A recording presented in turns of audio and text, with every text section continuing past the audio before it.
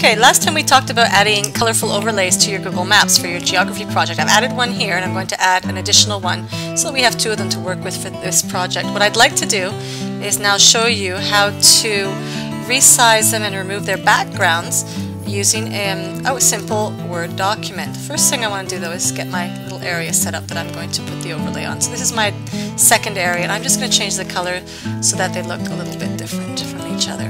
Okay, and the line color. And just as a refresher, the opacity adjustments are made over here for the shape, for the fill, and you can also adjust the uh, line. So, um, tourist zone 2. Alright, so now I've got two of these shapes. First thing I want to do is take a screenshot of each shape, separately from each other. Shift Command 4 on the Mac, you can use your snipping tool if you're on a PC, and select. Alright, minimize this and I've got a nice Google Doc and I'm ready to insert a picture. Go to Photo and from File. I've got them on my desktop because they're screenshots, so just have to look for them. Scroll down. There they are. I've got these two here. Choose one, insert it. Then what I'm going to do is I'm going to remove the background for the picture. Do you see this option in Format Pictures? I click Remove Background and I've now got my shape with background. So now I'm able to adjust its size if I want it to stand out further than more than the others, rotate it, etc, etc. If I want to be able to move it around a lot more, I need to go control click on a Mac or right click on a PC and format picture and choose layout and choose behind text and that will allow you to just move it around wherever you want it to be placed on your document.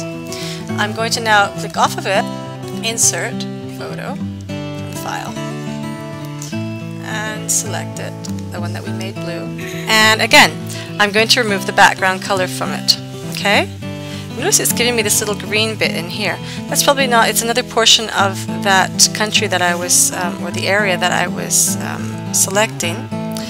And if I click on it, I can remove that additionally to it. So now I have no background when I'm done. There we go. So let's say that the red area um, had more tourism than the blue area. Then I've got my little chunks here of the map and I can now format the picture, put it behind the text, and I'm able to move them around as well as resize them. Okay, and in this way I can create my new map which indicates whatever information it is I'm trying to indicate. When I'm done with it I can export it. I can do a file, save as a PDF, which is not editable right? In the same way that a Word document is. Or I can just do a simple screenshot depending on what kind of project I'm going to be using it for. If you're doing a screenshot, make sure you don't hover over the shape first. You'll get that blue outline. And that's all there is to it. Happy mapping!